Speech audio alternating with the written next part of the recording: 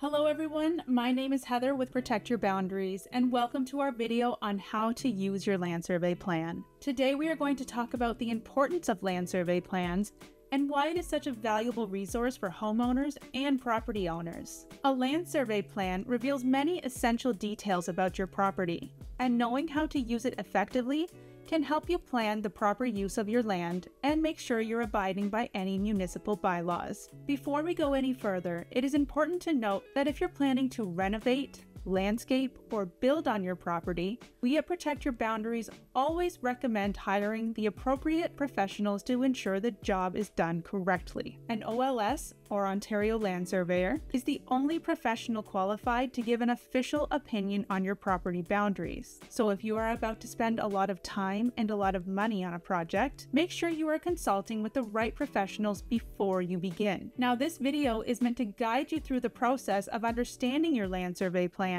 so that you can better navigate your land. Let's start by breaking down the components of a typical survey. It might seem overwhelming at first glance, but understanding what each part represents is a really good place to start. First, let's look at the title block. This section provides information about the legal description and the type of survey that has been prepared. The scale and the legend explain the scale of the map and the symbols used on the plan. You will also find property boundaries.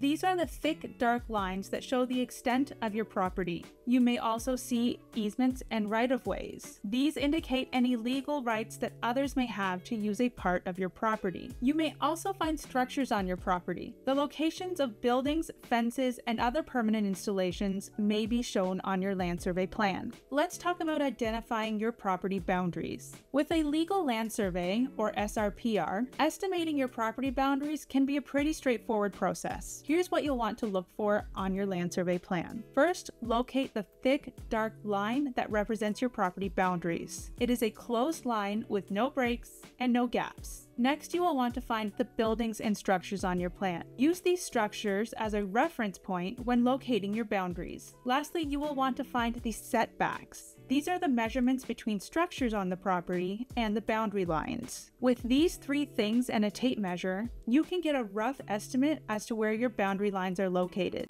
Now let's touch on easements and rights of way. If you're looking for an easement on your survey plan, it is important to know that easements are not always illustrated on them. If you've been informed that there is an easement on your property but do not see it on your plan, the best way to confirm its location is through a PYB property report or a PYB easement report. You can also refer to your property's full legal description or check the property's parcel register. If your plan does show an easement, you might see a phrase like easement in instrument followed by a number, or right of way, abbreviated as ROW, often marked out by a dotted line.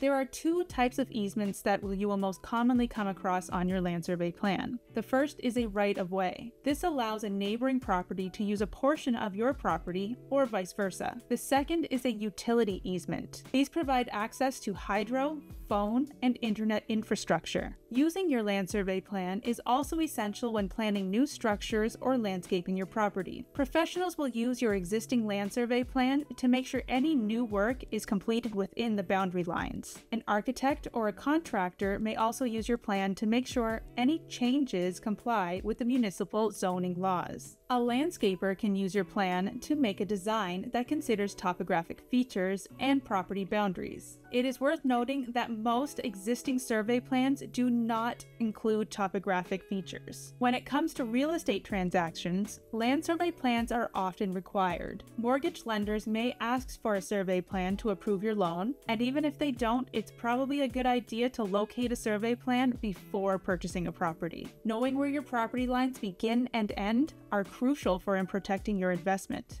Lastly, survey plans can be incredibly useful in resolving boundary disputes with neighbors. Sometimes there can be a disagreement about where property lines are. Having a land survey plan on hand can help clarify any boundaries and ideally avoid any legal issues. Using a land survey plan effectively involves understanding its components and applying the information in practical uses. While a land survey plan is an important legal document, consult any professionals for complex issues or legal advice. For more information on any of the topics discussed today, please visit the Protect Your Boundaries blog or our website at www.protectyourboundaries.ca.